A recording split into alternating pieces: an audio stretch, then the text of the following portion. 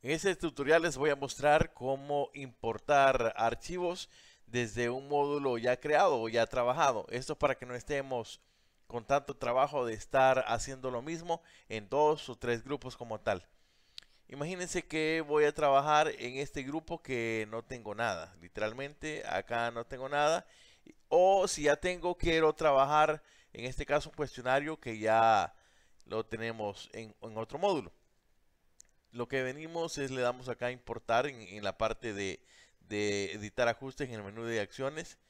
Le damos importar y seleccionamos el curso en donde está el material. Para mi caso, como no lo tengo, lo busco por el código de la materia. Doy buscar y si hubiesen más grupos me van a aparecer acá y selecciono eh, de donde voy a trabajar esa parte. Me van a aparecer todos estos elementos les doy siguiente en este caso.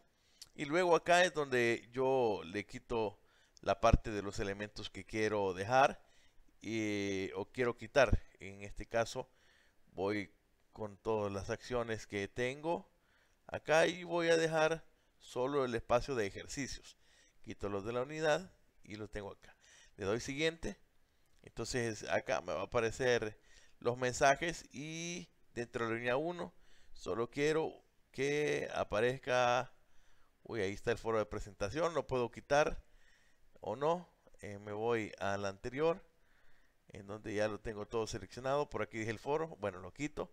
Para que vean que sí se puede hacer.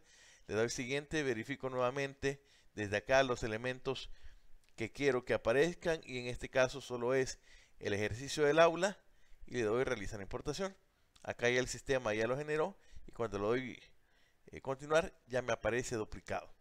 Lo que tengo que revisar en este caso de los ejercicios es los ajustes, porque por la copia el sistema me cambia la hora. Entonces tengo que venir acá a temporalización y si se fijan, acá está reviso y está todo bien.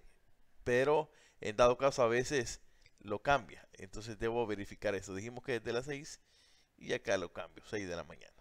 Ok, le doy guardar al curso y ya está listo mi copia del examen.